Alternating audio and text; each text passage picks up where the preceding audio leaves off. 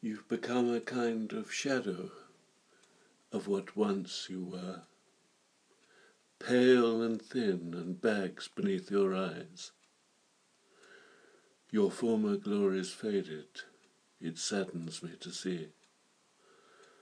Though trails of lipstick pursue me still through dreams, where scarlet as ever's the flesh between your thighs. And when I ask you why you have thus become, you sigh. It is your smile, which fades when you see me, which causes leaves to fall. I have listened long for the lute to pluck a chord, which will not diminish beyond my hearing, as hope has done beyond my hoping